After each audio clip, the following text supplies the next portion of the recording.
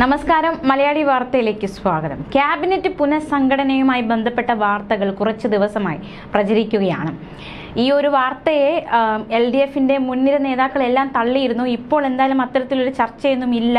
ഇത് വെറും ഒരു മാധ്യമ സൃഷ്ടി മാത്രമാണ് എന്നതടക്കമുള്ള ആരോപണങ്ങൾ എന്നതടക്കമുള്ള മറുപടിയാണ് ഈ ഒരു വിഷയവുമായി ബന്ധപ്പെട്ട് എൽ ഡി എഫ് മുൻനിര നേതാക്കൾ നൽകിയത്.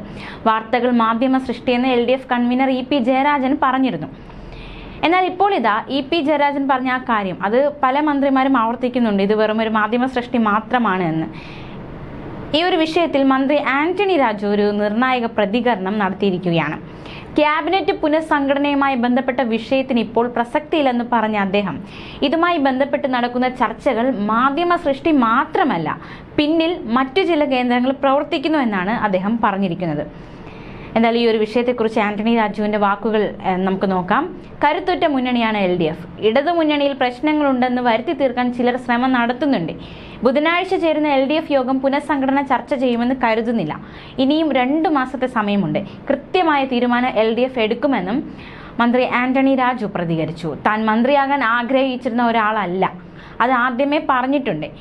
മന്ത്രിസ്ഥാനം ആർക്കും സ്ഥിരമായി ഉള്ളതല്ല. മന്ത്രിയായിരിക്കുന്ന കാലത്ത് ഇടതുപക്ഷ ജനാധിപത്യ മുന്നണിയുടെ താല്പര്യങ്ങൾക്കനുസരിച്ച് ജനാഭിലാഷം മാനിച്ച് പരമാവധി നന്നായി പ്രവർത്തിക്കുകയാണ് പ്രധാനം. മന്ത്രിയായത് ലാറ്റിൻ കാത്തലിക് അസോസിയേഷന്റെ തീരുമാനപ്രകാരമല്ല. താൻ ഒരു സമുദായത്തിനെ മന്ത്രിയല്ല. K L C A Congress അനുകൂല സംഘടനയാണ്. കോൺഗ്രസ് നേതാക്കളാണ് ആ സംഘടനയുടെ ഭാരവാഹികൾ. കെ എൽ സി എയുടെ തണലിൽ രാഷ്ട്രീയ പ്രവർത്തനം നടത്തിയ ആളല്ല ഞാൻ. കെ ബി ഗണേഷ് കുമാറിനെതിരായ ആരോപണങ്ങൾ വിലയിരുത്തേണ്ടത് ഇടതു മുന്നണിയാണെന്നും അദ്ദേഹം പ്രതികരിച്ചിരിക്കുകയാണ്. ഇത്തരത്തിലൊരു നിർണായക പ്രതികരണമാണ് അദ്ദേഹം ഈ ഒരു വിഷയവുമായി ബന്ധപ്പെട്ട് നടത്തിയിരിക്കുന്നത്. അതേസമയം ക്യാബിനറ്റ് പുനഃസംഘടനയിൽ ഇപ്പോഴത്തെ വാർത്തകൾ മാധ്യമ സൃഷ്ടിയെന്നായിരുന്നു ഇ പി ജയരാജൻ പറഞ്ഞത്. എന്നാൽ മന്ത്രി ആന്റണി രാജു പറയുന്നത് മാധ്യമ സൃഷ്ടി മാത്രമല്ല ഇതിനു പിന്നിൽ ഒരു ചില കേന്ദ്രങ്ങൾ പ്രവർത്തിക്കുന്നു എന്നത് എന്ന ഒരു പ്രതികരണമാണ് അദ്ദേഹം നടത്തിയിരിക്കുന്നത്. പുനഃസംഘടന എൽ ഡി എഫ് ചർച്ച ചെയ്തിട്ടില്ല എന്നും ഇ പി ജയരാജൻ പറഞ്ഞിരുന്നു.